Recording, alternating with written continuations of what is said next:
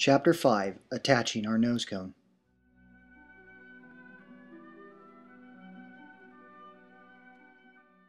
We now begin the step of attaching our nose cone to the rocket. The base of the nose cone should be slightly bigger than the rocket body. Once we have the desired fit, tape the seam of the nose cone.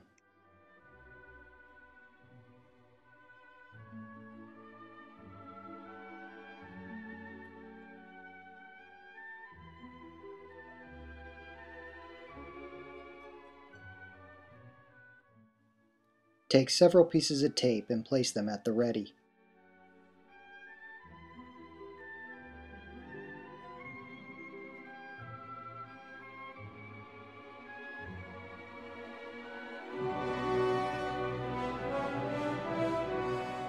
Next, place the nose cone on the rocket so that it sits centered.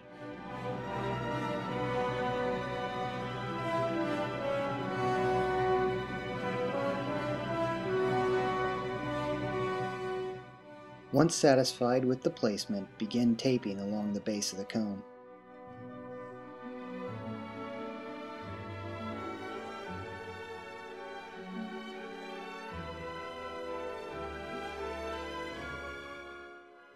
Finally, inspect your rocket. Once satisfied, you can remove it from the PVC pipe.